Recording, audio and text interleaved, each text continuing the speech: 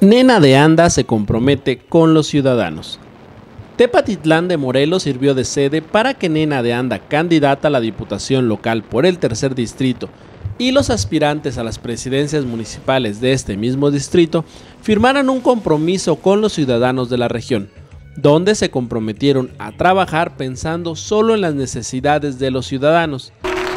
Hoy es imprescindible soñar, creer y luchar por la región que todos queremos no hacerlo significa resignarse, rendirse ante quienes por su ambición y cinismo quieren arrebatarle a los salteños su futuro. Nena de Anda fue la encargada de leer el manifiesto donde Movimiento Ciudadano refrenda su deseo de permanecer cercano a la gente y alejado de las prácticas de corrupción que hoy explicaron tienen a la gente en un hartazgo de la clase política. La región de los saltos que queremos debe tener un gobierno que actúe con humildad, honradez, con sentido común.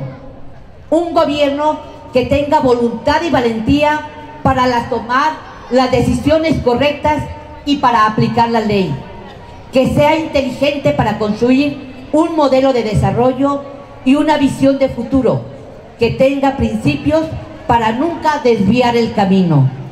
Entre los compromisos firmados por la diputada local y los aspirantes a las presidencias municipales está la revocación de mandato, donde se comprometieron a que en caso de ganar las elecciones someter a un escrutinio público su trabajo a la mitad de su mandato y de no ser positivo para la gente, separarse del cargo. Al mismo tiempo se comprometieron a cuatro puntos más, entre los que destacó una total transparencia en el manejo de los recursos públicos y el que los ciudadanos elijan las obras que requieren para sus comunidades. Asumimos hoy, en este día, el compromiso de trabajar juntos para regresarle a nuestra región su grandeza. No propondremos nada extraordinario, solo vamos a luchar para que los salteños recobremos la esperanza vamos a defender con toda nuestra fuerza la idea de que podemos aspirar a tener una región segura, justa, ordenada y bella. Los servicios públicos serán de calidad, garantizarán el funcionamiento cotidiano de la región.